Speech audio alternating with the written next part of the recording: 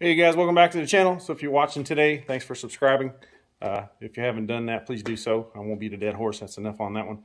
Uh, so today we're working on Project Big Red. We're going to paint the door jambs, uh, the cowl, the tail light panel, and the rockers. I also paint up in my wheel wells. I'll show you how I got it taped up. I always double paint my rockers and in front and behind the rear tires just to help for extra protection. So I'll show you guys how I got this taped up. I got everything reseam sealed. I got new window clips for the trim on there. I'll show you the box for the part number on that so you guys know where you can get that at. And uh, let's walk around this real quick. So this is how I seam seal the windows. I, I actually take a wire wheel. I get rid of all the old seam sealer in this area. I reprime it. Then I reseal it before I paint. These are the new window clips. I always replace these. Now these are super tight. When you first put them in, I normally, before I paint my, my jamb here, I'll take a little straight screwdriver and bend these forward a little bit. So when I go to reinstall my window trim, I don't chip the paint.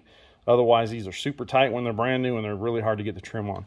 Uh, this is a part number for that right there, if you guys are looking to replace those.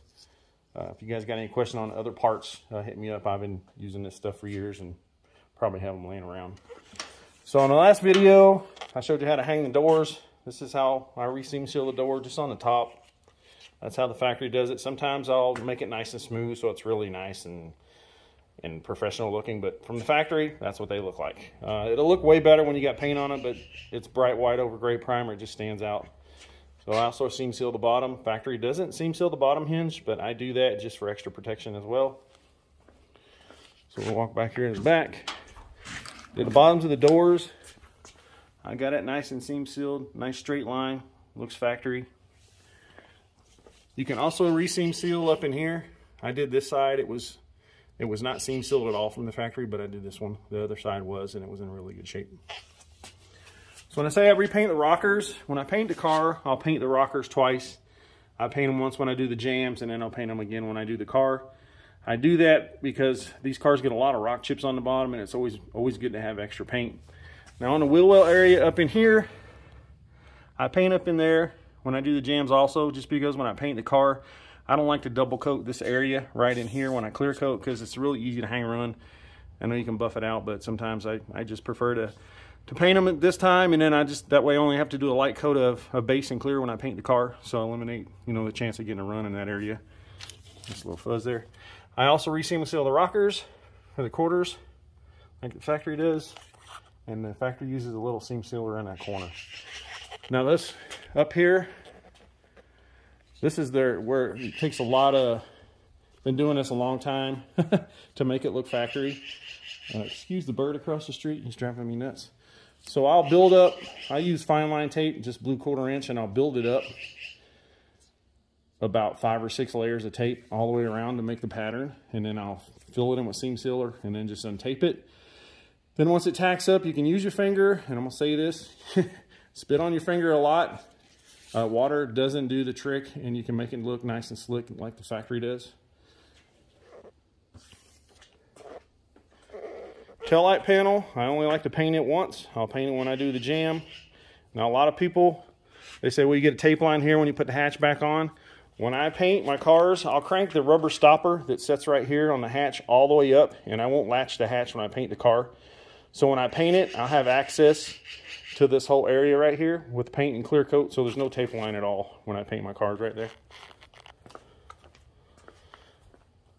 So just to show you this side right here, that side's done. We got the paint mixed up. I'm gonna paint the cowl. This cowl I stripped it to bare metal. On the inside it had a lot of surface rust. So I took the time to get all that out of there. So I'm gonna paint up in there. Normally when I paint the car, I'll paint the cowl then, and I'm probably gonna paint it now and I may paint it again depending on how it turns out, mostly because there was a lot of paint in this area. I wanted to strip that down so there's no hard, nasty paint line. It looked really bad in this area. Again, there's a seam sealer there, and on the door jambs, no big deal. So if you guys got any questions on taping cars up and reseam sealing and stuff like that, just hit me up. There's always little tricks to doing stuff like this. Like I said, I'm to go ahead and put the red down. Then I'll walk around it with some paint on it, and then I'll hit you guys back up. Uh, just stay with me.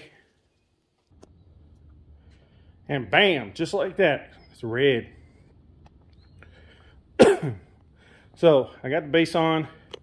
Forgot I had an appointment at DMV, so I had to rush and get the clear on it, get it untaped. Um, when I untape one, down through here you have what's called a hard line through here. I normally get a lacquer thinner rag, clean that hard line off, so when I wet sand it to paint the car, it's less of a pain in the butt. So this is the, up here where I did the new seam sealer. Looks factory, looks really good, turned out nice. Anybody want to know how I do that, just uh, hit me up at foxjunk73 at gmail.com. Jambs turned out really good. Taillight panel looks good. Everything looks really nice. No issues. Painted the back sides of the doors. Always like to do that, makes it look fresh. A lot of people don't do that. Um, they kind of just tape around where the door panel goes. If, if you're gonna do it, if something's worth doing, just do it right. Takes extra time and do it. Not a huge deal.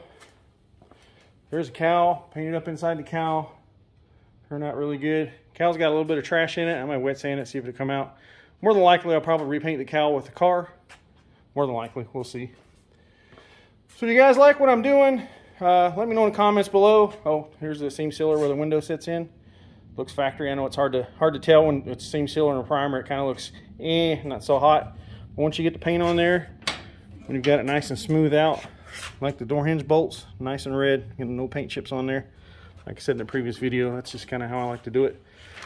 Paint it all around where the window sits. A new glass on the way. I'll scuff that down before he gets here. They'll prime it with their window weld primer and set the new windshield in it. There's this door right here, looks super nice. In the bottoms, reseam sealed everything. Rockers, and then pinch weld guys. I didn't straighten one bend in those pinch welds on either side. Both of them were perfect. And it's an 85. You don't see that too often.